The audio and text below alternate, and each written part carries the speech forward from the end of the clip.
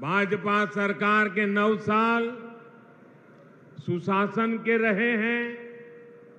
भाजपा सरकार के नौ साल गरीब कल्याण के लिए समर्पित रहे हैं। आप याद कीजिए 2014 से पहले देश में क्या स्थिति थी?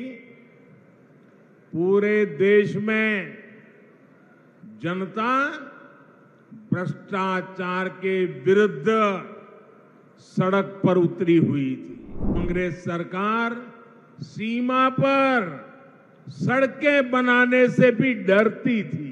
प्रधानमंत्री के ऊपर सुपर पावर थी। कांग्रेस सरकार रिमोट कंट्रोल से चल रही थी। अति गरीबी को समाप्त करने के बहुत निकट है। साथियों, आखिर ये बदलाव आया कैसे? ये बदलाव आया कैसे? ये बदलाव आया कैसे? 50 साल पहले कांग्रेस ने इस देश को गरीबी हटाने की गारंटी दी थी और ये गरीबों के साथ किया गया कांग्रेस का सबसे बड़ा विश्वासघात है। शती वर्ष मना रही है। कुछ दिन पहले 15 मई को ही उनकी पुण्यतिथि भी थी। मैं भैरव सिंह शेखावत जी को भी अपनी विनम्र श्रद्धांजलि अर्पित करता हूँ। भाइयों और बहनों, आज यहाँ अजमेर आने से पहले मुझे तीर्थराज पुष्कर जाने का सौभाग्य मिला। हमारे शास्त्रों में ब्रह्मा जी को सृष्टि का रचयिता कहा गया? है ब्रह्मा जी के आशीर्वाद से आज भारत में नव निर्माण का दौर चल रहा है। केंद्र में भाजपा के नेतृत्व वाली एनडीए सरकार के नौ साल भी पूरे हो गए। भाजपा सरकार के नौ साल देशवासियों की सेवा के रहे हैं। भाजपा सरकार के नौ साल सुशासन के रहे हैं। भाजपा सरकार के नौ साल गरीब कल्याण के लिए समर्पित रहे हैं। साथियों देश ने 2014 में सबका साथ, सबका विकास के नए संकल्प का आह्वान किया था। इस संकल्प में राजस्थान ने बहुत बड़ी भूमिका निभाई है। आप याद कीजिए 2014 से पहले देश में क्या स्थिति थी? पूरे देश में जनता भ्रष्टाचार के विरुद्ध सड़क पर उतरी हुई थी।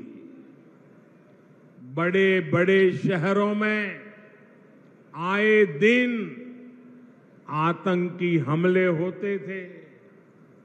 कांग्रेस सरकार सीमा पर सड़कें बनाने से भी डरती थी। महिलाओं के विरुद्ध अपराध चरम पर थे। प्रधानमंत्री के ऊपर सुपर पावर थी। कांग्रेस सरकार रिमोट कंट्रोल से चल रही थी। निर्णय होते नहीं थे। नीतियाँ चौपट थी। निवेशक निराश थे। युवाओं के सामने अंधकार था। जनता से वोट लेकर कांग्रेस जनता को ही कोस रही थी। भाइयों और बहनों, घोर निराशा के इसी माहौल को 2014 में आपने एक वोट से विकास के विश्वास में बदल दिया।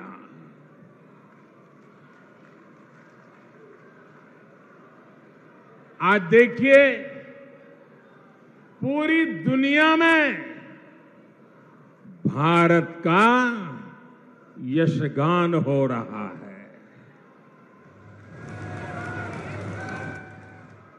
आज दुनिया के बड़े बड़े एक्सपर्ट्स ये बोल रहे हैं कि भारत अति गरीबी को, अति गरीबी को समाप्त करने के बहुत निकट है। साथियों, आखिर ये बदलाव आया कैसे? ये बदलाव आया कैसे? ये बदलाव आया कैसे? ये बदलाव आया कैसे?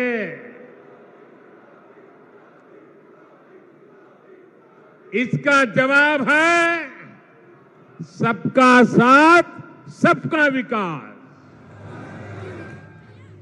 इसका जवाब है वंचितों को वरीयता।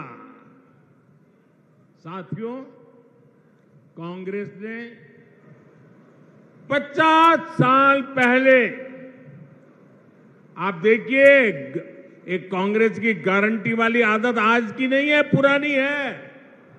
50 साल पहले, कांग्रेस ने इस देश को गरीबी हटाने की गारंटी दी थी और ये गरीबों के साथ किया गया कांग्रेस का सबसे बड़ा विश्वासघात है। कांग्रेस की रणनीति रही है कि गरीबों को भरमाओ गरीबों को तरसाओ। यहाँ राजस्थान के आप लोगों ने भी इसका बहुत नुकसान उठाया है। साथियों, कांग्रेस ने किस तरह देश की करोड़ों महिलाओं और बच्चों के जीवन से खिलवाड़ किया, इसका उदाहरण कांग्रेस के समय चीला टीकाकरण अभियान है। जब कांग्रेस की सरकार थी तो देश में टीकाकरण का दायरा सिर्फ़ 60 प्रतिशत के आसपास ही पहुँच पाया था। उस समय कांग्रेस के शासन के काल में 100 में से 40 गर्भवती महिलाएँ और बच्चे ऐसे होते थे जिन्हें जीवन रक्षक टीके नहीं लग पाते थे। अगर कांग्रेस सरकार होती तो देश में टीकाकरण की कवरेज 100 प्रतिशत होने में 40 साल और लग जाते और कितनी पीढ़ियाँ बीत जाती। आप कल्पना कर सकते हैं कि जीवन रक्षक टीकों के ना लगने से देश में कितनी बड़ी संख्या में गरीब महिलाओं और बच्चों को अपने जीवन से हाथ धोना पड़ता। राजस्थान के भी ऐसे लाखों बच्चों और महिलाओं को बचाने का काम बीजेपी सरकार ने किया है। साथियों, हम सभी ने अपने बचपन में अपनी माँ को लकड़ी पर खाना बनाते देखा है। लकड़ी पर खाना बनाने की वजह से जो धुआँ निकलता था वो हर महिला के जीवन पर संकट लाता था। देश की महिलाओं की ये परेशानी भी कांग्रेस को कभी नज़र नहीं आई। कांग्रेस शासन में एक गैस कनेक्शन पाने तक के लिए इधर उधर दौड़ना पड़ता था। सिफारिशें लगवानी पड़ती थी, इसलिए 2014 तक सिर्फ़ 14 करोड़ लोगों के पास ही गैस कनेक्शन था। हम अगर कांग्रेस सरकार की स्पीड से चले होते तो देश के कोने कोने में गैस कनेक्शन पहुँचने में 20 साल और लग जाते। यानी बिना गैस कनेक्शन के एक पीढ़ी और गुजर जाती। मुझे ये स्थिति स्वीकार नहीं थी। इसलिए ही पिछले नौ साल में बीजेपी सरकार ने देश के 19 करोड़ से अधिक लोगों को गैस कनेक्शन दिया है। इस गैस कनेक्शन ने महिलाओं को स्वास्थ्य भी दिया है और सुविधा भी दी है। साथियों पानी की एक एक बूंद की कीमत राजस्थान के मेरे भाई बहन अच्छी तरह जानते हैं। हमारे देश में 2014 तक 18 करोड़ से ज़्यादा ऐसे परिवार थे जहाँ नल से जल नहीं आता था। पाइप से पानी का कनेक्शन ही नहीं था। बीजेपी सरकार ने बीते तीन साल में नौ करोड़ लोगों को पाइप से पानी के कनेक्शन से जोड़ा है। अगर कांग्रेस की सरकार होती तो उसे यही काम करने में 20 साल और लग जाते। जब संकट हल करने में, पानी से जुड़ी चुनौतियों को समाप्त करने में, कांग्रेस सरकार कभी आगे बढ़कर काम नहीं करती। कांग्रेस को सिर्फ़ झूठ बोलना आता है और आज भी कांग्रेस यही कर रही है।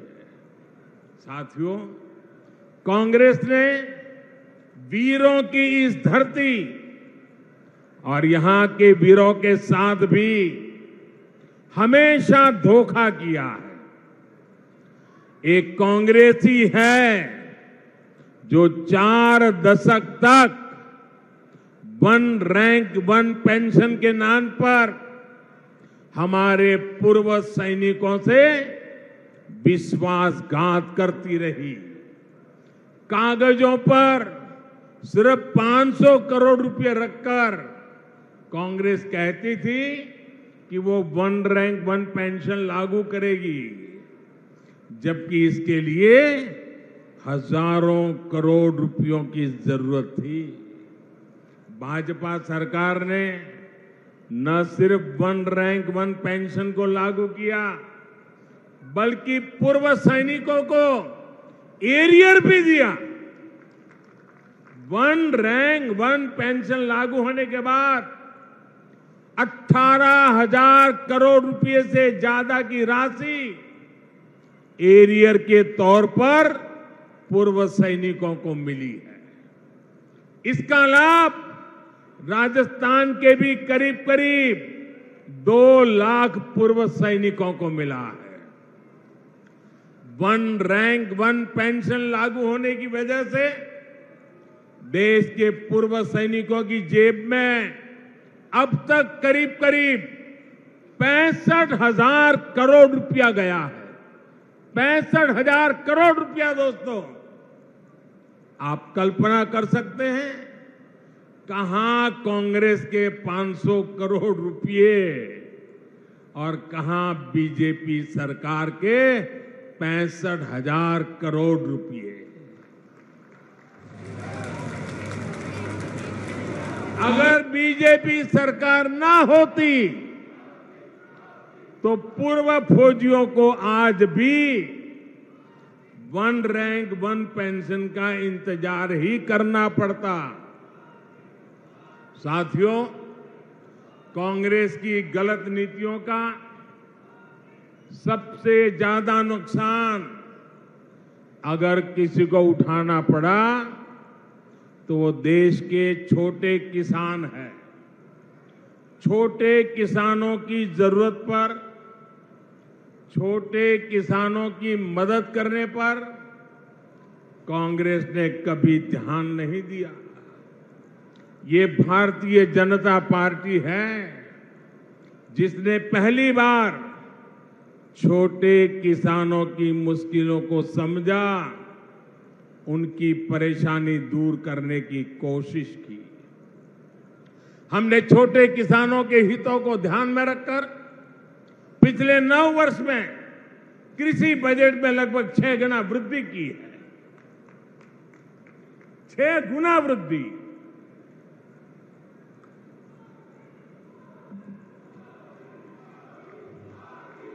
भाजपा सरकार में पहली बार किसानों को लागत का डेढ़ गुना समर्थन मूल्य तय हुआ। पहली बार किसानों को बैंक खाते में उनकी उपज का पैसा मिलना सुनिश्चित हुआ। पहली बार किसानों को इनाम के रूप में राष्ट्रीय मंडी मिली है। पहली बार किसी फ़सल बीमा योजना से किसानों को सवा लाख करोड़ रुपए से अधिक का मुआवजा मिला है। पहली बार अभियान चलाकर किसानों को बीजों की 2000 नई वैरायटी दी गई है। पहली बार पशुपालकों को, मछली पालकों को, उसको किसान क्रेडिट कार्ड की सुविधा मिली है। पहली बार यूरिया की कालाबाजी रुकी है। निम कोटिंग होने का फ़ायदा किसानों को मिला है। पहली बार किसानों को लिक्विड नैनो यूरिया जैसा मेड इन इंडिया उत्पाद मिला है। पहली बार अभियान चलाकर देश के 11 करोड़ किसानों को 11 करोड़ से अधिक सॉयल हेल्थ कार्ड दिए गए हैं। पहली बार किसानों के लिए पीएम किसान सम्मान निधि जैसी योजना शुरू हुई है। इसके तहत अभी तक 11 करोड़ किसानों को करीब ढाई लाख करोड़ रुपए मिल चुके हैं। साथियों, ये बीजेपी की सरकार है, जिसने गेहूँ और धान की खेती के अलावा भी किसानों को आय के दूसरे साधनों पर और ज़्यादा काम किया है। पहली बार देश में दालों का उत्पादन बढ़ाने और एमएसपी पर दलहन की खरीद के लिए इतना बड़ा अभियान चलाया गया। पहली बार अन्नदाता को ऊर्जादाता बनाने के लिए हमने अभियान चलाया। लाखों किसानों को सोलर पंप भी दिए। पहली बार देश में प्राकृतिक नेचुरल फ़ार्मिंग के लिए इतना बड़ा अभियान शुरू किया गया। पहली बार शहद का उत्पादन बढ़ाने और उसके निर्यात के लिए भी बीजेपी सरकार ने विशेष मिशन चलाया। पहली बार ज्वार बाजरा जैसे भारत के श्री अन्न को वैश्विक पहचान देने का प्रयास हुआ। पहली बार किसी सरकार ने मोटे अनाज उगाने वाले देश के ढाई करोड़ किसानों की चिंता की है। भारत के प्रयास से ही संयुक्त राष्ट्र ने 2023 को मोटे अनाज का अंतर्राष्ट्रीय वर्ष घोषित किया है। इन सब का फ़ायदा यहाँ राजस्थान के किसानों को हुआ है। इस क्षेत्र के किसानों को हुआ है।